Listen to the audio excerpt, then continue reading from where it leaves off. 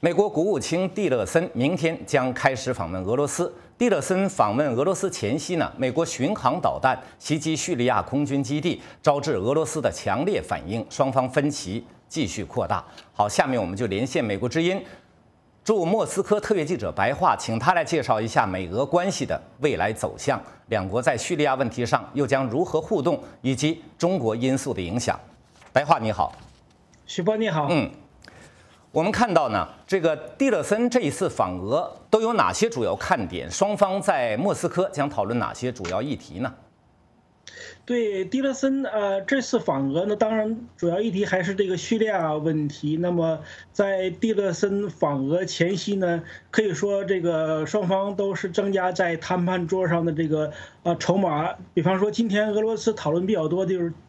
比较讨讨论比较多的一个议题就是，呃，西方呢有可能呃针对俄罗斯在叙利亚问题上的立场呢，对俄罗斯采取新的一轮的这个啊制裁行动。如果俄罗斯继续支持这个阿萨德政权的话，那么俄罗斯也表态说的绝不允许呢这个阿萨德垮台，那么呢也不会这个抛弃阿萨德。那么除了这个叙利亚问题之外呢，呃，蒂勒森可能还会讨论，就是说，啊，美国呃，俄罗斯对这个美国大选的这个影响，还有这个俄罗斯的这个黑客攻击行动。另外一个就是俄美两国军方呢，是未来如何进一步避免这个呃擦枪走火的这个行动。那么，呃，叙呃，美国这个导弹攻击叙利亚之后呢，俄罗斯取消了这个在叙利亚问题上的这个。呃，二零一五年签署的一个备忘录，就是保证这个空中飞行安全。另外一个关闭了通叙利亚的、通美国的这个呃军事联络这个热线。所以说呢，双方这个擦枪走火这个机会呢，现在是越来越大。这样呢，就是影响这个两国关系的未来的进一步发展。当然，最主要看看点就是，呃，蒂勒森这次呃这次访俄的时候呢。会不会这个呃会晤普京？那么如果会晤普京的话呢，就标志着这个两国未来的关系呢，可能会有一会会有这个更多的这个乐观的因素。如果假如说不会晤普京呢，那么可能这个悲观因素就比较多一些。许波，好的。那么过去两年来呢，普京总统在叙利亚舞台上频频出手，并且大展拳脚。那美国导弹这一次袭击叙利亚之后，普京将会受到哪些挑战和影响呢？白话。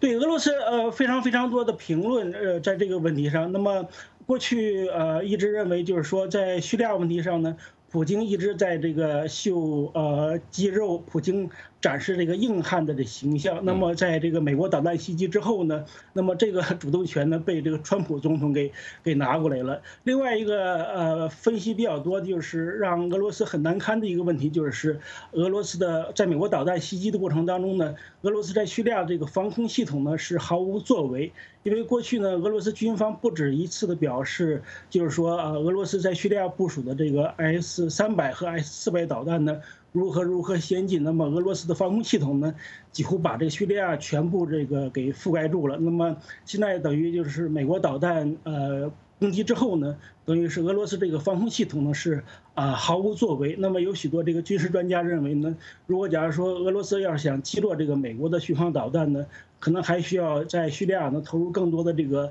啊防空力量的部署，甚至叙利亚训训练这个叙利亚的这个军人，等于等于说就是俄罗斯呢可能会更多的这个啊卷入叙利亚的这个呃事务。嗯啊，另外呢就是说俄罗斯呢在呃美国导弹袭击之后呢也开始。呃，进一步增加在叙利亚的军事部署，比方说，呃，俄罗斯把海军当中最最先进的一艘这个呃护卫舰呢，现在这个部署到呃叙利亚啊沿海了。呃，另外呢，就是呃，在这个国内问题上呢，呃，很多分析人士认为呢，呃，普京呢，或许可能就是说把这个叙利亚问题呢。呃，当做这个转移国内问题注意力的一个焦点，可能会更多的这个掀起国内的这个反西方的这种情绪。嗯，徐波，好的。那么我们看到美国巡航导弹袭击叙利亚的时候呢，中国领导人习近平正在访问美国并会晤川普总统。那么中国在叙利亚问题上过去呢，经常支持俄罗斯。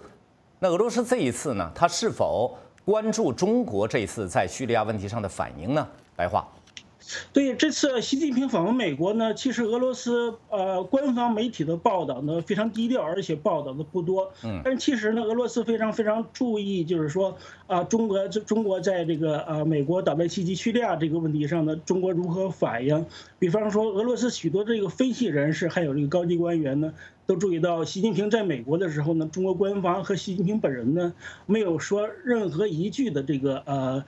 呃，就是批评美国导弹攻击的话，甚至那么还有这个俄罗斯的媒体引述引述美国媒体的报道说说中国这个对美国的这个导弹攻击行动呢啊感到理解。总之呢，从这个俄罗斯的分析评论来看呢，俄罗斯对这个呃中美之间的互动呢，心里有一种这个很不是这个滋味儿这这这这这种味道。嗯，还有很多评论认为就是说啊。呃，美国的这个导弹袭击呢，发生在这个呃习近平访美的时候，那么等于是美国故意这个给这个中国不给不给中国这个呃呃呃给中国脸色看，那么可能会意味着未来的这个中国的这个报复。也有分析认为呢，呃，因为这个叙利亚问题呢，俄美之间的关系呢会进一步走向危机。那么现在美国向这个呃朝鲜半岛呢派出这个航母这个打击战斗群，那么。未来的中美关系呢，也可能会因为这个朝鲜问题呢，可能会陷入危机。总之呢，俄罗斯对这个中美之间的互动并不是很很这个很很很很这个呃很感兴趣，有种心里很很不是滋味这种味道。好的，我们感谢美国之音驻莫斯科特约记者白桦的连线报道。